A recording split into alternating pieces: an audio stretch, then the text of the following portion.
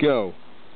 Hi, my name's Ahava and today we are going to be making biofuel or veggie fuel or biodiesel. This is all you need. You know we have uh, the, the, people on the uh, on the internet selling the, uh, the huge biodiesel plants and one thing and another but really this is my biodiesel plant and I've been doing this for many many years and there's no rocket science to it at all. Uh, this is um, this is just vegetable oil from the supermarket. It's much better to use used vegetable oil which you don't have to filter at first. You mix it first and filter, filter it afterwards, siphon it off the top. But this is vegetable oil from the supermarket, rapeseed oil. So what we're going to do, we're just going to pour this in there, like this. Vegetable oil. Simple. And we're going to reduce the viscose of this vegetable oil down. We're going to bring it down to Chinatown because this is what we need to make the diesel, veggie diesel, biodiesel, compatible with any diesel engine.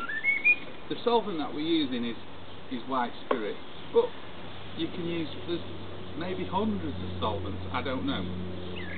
So we're going to mix a bit of white spirit with that, with the cooking oil. This is a, a paraffin lamp. You know, you can also use anything with a, a relatively high flash point you can use as a solvent to mix in with a vegetable oil. If you transesterify you're going to produce gly glycerine, which is a waste product. It's a byproduct of the biodiesel when you're mixing it with lye or hydrogen peroxide. There's no need for that. The diesel engine is powerful enough to burn all that up. Okay? I've got some fossil fuel diesel here just as an example so that when you've mixed your mixture up you can compare it to the layman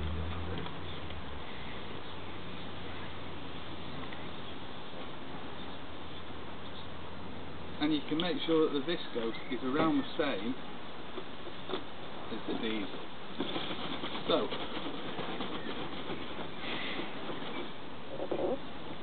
There is the biodiesel, veggie fuel, veggie diesel, completely made.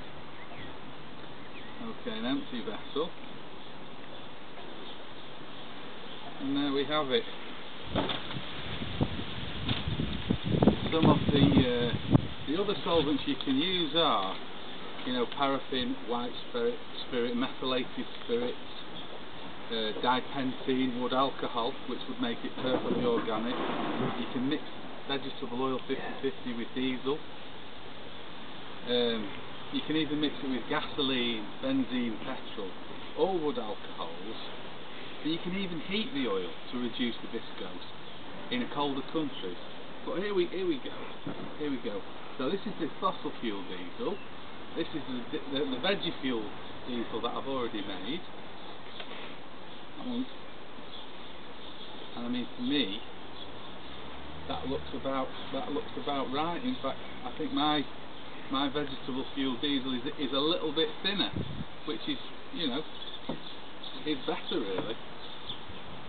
So, just as a matter of fact, here we have a, a Mercedes smart car, you know, an expensive car, and it, it just goes straight in.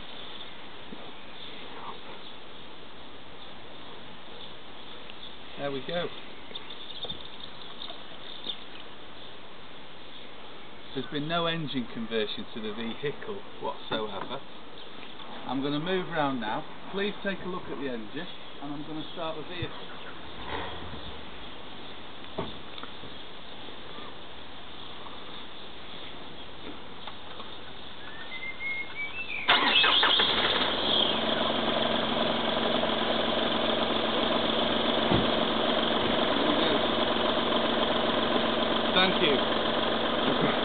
Thank you. For not. thank you for watching my presentation on how to make biodiesel with Ahava.